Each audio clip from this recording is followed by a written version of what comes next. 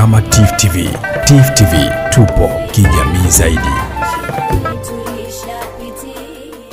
kodi kwamba jamani ni, ni tozo ya lazima kwa mujibu wa sheria za kodi zilizowekwa, na hii kodi inalipwa kwa njia ya fedha na kupelekwa serikalini. Serikali inatumia hizi fedha za kodi katika kugharamia huduma mbalimbali za jamii, na kodi imekuwa ndio chanzo bora cha mapato ya serikali katika kuleta maendeleo, hasa katika nchi zinazoendelea kama hii ya kwetu.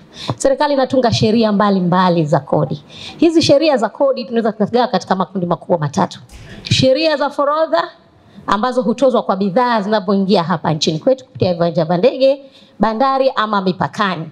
Kuna sheria kodi ya mapato ambayo hii hutozwa mtu ambaye anapata kipato kutokana na ajira, faida ya biashara ama uwekezaji.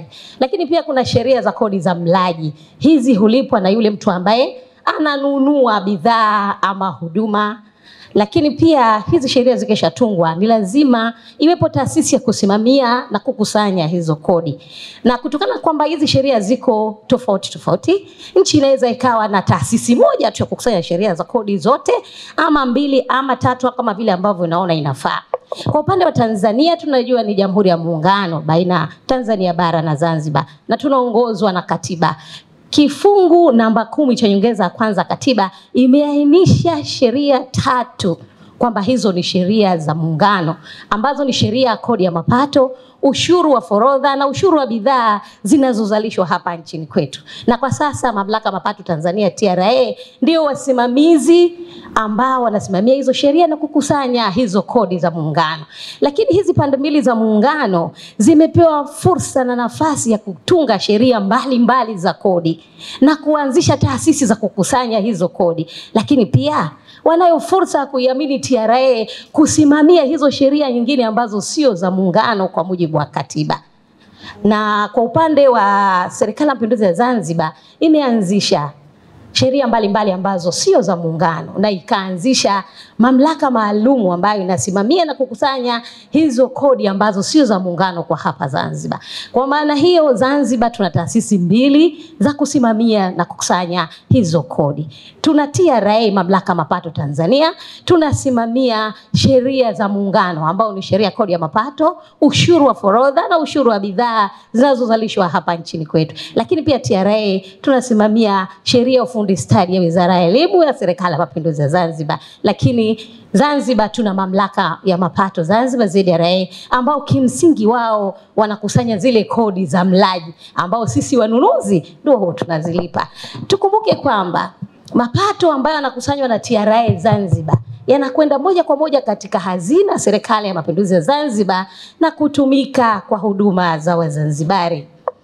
Kwa upande wa kodi ya mapato, kodi ya mapato inakusanywa kwa mujibu wa sheria ya kodi ya mapato ya mwaka 2004. Sheria inasema mtu yote ambaye anapata kipato kinachotokana na ajira ambayo ile ndio mishahara yetu, faida ya biashara ama uwekezaji, basi anatakiwa alipe kodi ya mapato na yachangie maendeleo. Na hii kodi ya mapato huwa inalipwa kwa mwaka, tunaita mwaka wa mapato. Lakini hii kodi ya mapato ina njia mbili za kulipa. Njia ya kwanza, mfanya biashara anajikadiria kodi yake mwanzoni mwa mwaka na akaianza kulipa ile kodi yake robo robo kila baada ya miezi mitatu. Lakini njia nyingine ya kukusanya kodi ya mapato inaitwa njia ya zuio ama withholding. Withholding manake yule ambaye analipa mapato anatakiwa azuie kiwango cha kodi na akiwasilishe TRA kwa niaba ya yule ambaye analipa. Wajibu wa mnunuzi chini ya sheria za kodi. Nyinyi kama maafisa wanunuzi, mna wajibu chini ya sheria za kodi, kwanza kuhakikisha wakati mnaanzisha manunuzi, mnanunua kwa yule ama taasisi ambayo iko rasmi, imesajiliwa ina vyeti rasmi. Kwa upande wa TRA tuna TIN, lakini sio TIN tu, kwa sababu kuna TIN za non business. Kuna wajanja wajanja, mkitoa tenda nao wataingia. Cha msingi walete tax clearance certificate ama hati safi ya mlipa kodi, cheti ambacho kinaonyesha huyu ambaye kaja kuomba tenda basi anafata taratibu na alipa kodi zake. Lakini pia unatakiwa upokee ankara ya kodi iwapo umepata manunuzi, yule aliyekupa huduma ama zile bidhaa akuletea nkara kodi ambao ndani yake itaonyesha gharama halisi ya ile bidhaa ulionunua ama huduma, lakini kuna kodi ya mlaji ndani yake ambayo tumezoea maarufu ni VAT.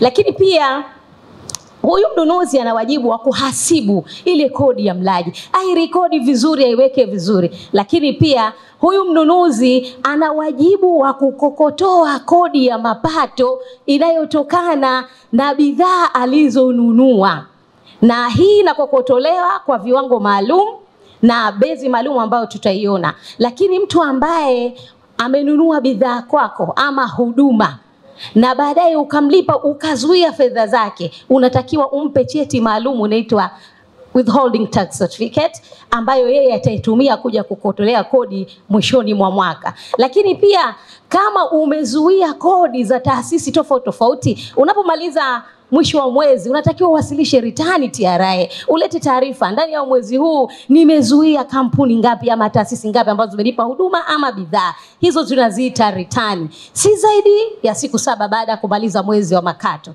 Lakini wakati unawasilisha ritani, unatakiwa ulipe zile pesa ulizozizuia. Usizuie zile fedha sio za kwako, amelipa yule nani amelipa yule ambaye ikakupa huduma. Usikae nazo uzilete TRA si zaidi ya siku saba baada ya kuzuia ule, kufika ule mwezi wa, wa makato. Lakini pia kama mnunuzi una wajibu wa kusimamia mkataba ama tunaita contract management, ambao ndani yake wewe una wajibu wa kuhakikisha huyu ambaye nimempa huu mradi kweli analipa kodi ya mapato ya wafanyakazi wake, analipa kweli SDL, kweli analipa kodi ya mapato. Wewe mnunuzi una wajibu wa kuhakikisha hizi sheria za kodi zinafuatwa kikamilifu, lakini usipofata huu wajibu wako, kama tunavyojua, usipopata usipopata sheria kuna adhabu. Jamani, kuna adhabu kimsingi. Usipozuia wakati una wajibu wa kuzuia, sheria imesema wewe uliyekataa kuzuia na yule aliyokuwa hakuzuiliwa, nyote mna makosa na mnatakiwa mtozwe adhabu kwa viwango ambavyo vimewekwa. Lakini usipoasisha ritani pia kuna adhabu. Usipolipa kodi uliyoizuia ukakaa nayo pia kuna adhabu. Lakini pia katika kukokotoa hizi kodi za mapato ama tunaita kodi za zuio, kuna bidhaa ambazo haziruhusiwi kuzuiwa wakati unanunua bidhaa hizi. Hizi bidhaa ni bidhaa ambazo zimenunuliwa ama zinatolewa na taasisi ya serikali ama ta, serikali imeanzisha taasisi hiyo maksusi kwa ajili ya kutoa hiyo huduma ama bidhaa. Wewe unapokwenda kununua huruhusiwi kuwithhold. Kwa mfano tunavyozungumza bidhaa kama umeme, maji, ulinzi. Tunajua kuna taasisi maalum za serikali zimeanzishwa kwa ajili ya kazi hiyo. Kwa maana hiyo, unapowalipa unawalipa fedha zao zote na huruhusiwi kuzuia. Lakini pia iwapo umekwenda kununua bidhaa kwa taasisi ambayo imesamehewa kulipa kodi ya mapato, basi hiyo nayo hutakiwi kuzuia. Lakini kuna taasisi ambazo zimeruhusiwa uwape fedha zao zote na baadaye mwisho wa mwaka watakuja kufunga hesabu, watakuja kulipa wenyewe. Hizo ni kampuni za usafi ama zile fumigation za kupiga madawa kwenye majumba. Lakini pia tumesema kuna misingi ya kukokotoa hii kodi. Tunasema kwenye ule msingi kwanza una, una, unatoza kwenye mapato ya jumla, lakini wakati wa kukodoa ile kodi ya zuio ya mapato ile VAT unaweka pembeni. Lakini pia unatakiwa utofautishe, mtu amekuletea kazi, mimi nimekufanyia service nikakutilia na vifaa katika ofisi yako utofautishe kwa sababu kwa mujibu wa sheria ya kodi ya mapato, bidhaa ambazo zinanunuliwa na taasisi ya serikali zinatakiwa zizuiwe asilimia mbili, lakini huduma ni asilimia tano. Sasa usipotofautisha utatoa wewe kama ni huduma kufanyiwa maintenance ya 5% ambayo kimsingi inakuwa ni kubwa. Pana mifano miwili mitatu ambayo wish ningepata muda tungeongea, lakini kutokana na muda huu ningependa niendelee kwenye changamoto ambazo tunazipata sisi wasimamizi wa hii sheria kodi ya mapato na nyinyi wa, watu wa manunuzi. Tumekuwa tuna changamoto pale ofisini kwetu ya kusimamia makusanyo ya hizi withholding taxes kutoka kwenye taasisi za serikali. Tunajua taasisi za serikali sasa hivi kuna project mengi, ina maana hao ni kutupa hizi huduma wanalipwa.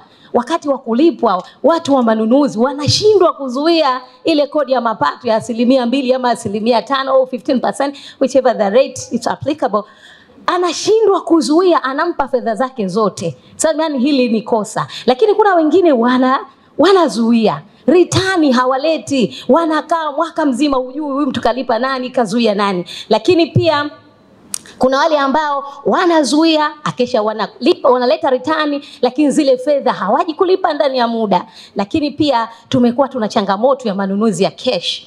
Ukienda ukanunua cash, vipi utaweza kumanage ile income tax ya kuzuia? Ama tumekuwa na changamoto ya petroli ambayo kuna prepaid. Nadhani tunajua manunuzi ya petroli ni tofauti na vitu vingine, unalipa kwa yule supply then unakwenda kuchukua kidogo kidogo. How can you count hiyo income tax? Lakini pia tumekuwa tuna changamoto la mitazamo ya watu wa manunuzi ya kwamba iwapo project imesamehewa VAT, basi wanadhani na ile income tax pia imesamehewa kiasi kwamba wanasema tumpe fedha zake, VAT amesamehewa aende. Lakini sisi tumekuwa tukipita tukifuatilia, anasema sisi hatujui. Nadhani leo kwenye platform hii tuondoke na hilo kwamba aliyesamehewa VAT hajasamehewa kodi ya mapato ambayo tunaita kodi ya zuio, ambayo kimsingi tunatakiwa tuisimamie na tuhakikishe imekusanya. Kwa kumalizia, ningependa tu niwasihi wafanyakazi wenzangu, watumishi wa umma ambao tumeaminiwa kufanya manunuzi kwa niaba ya serikali. Kwa maana hiyo, hatuna budi tutimize wajibu wetu, tuhakikishe hizi kodi zote zinalipwa kwa mujibu wa sheria, kwani kodi kama tulivyosema ndiyo chanzo bora cha mapato ya serikali katika kuleta maendeleo ya kiuchumi na ustawi wa jamii wetu. Hivyo jamani, kodi yetu ndiyo maendeleo yetu, tuwajibike pamoja, tujenge taifa letu.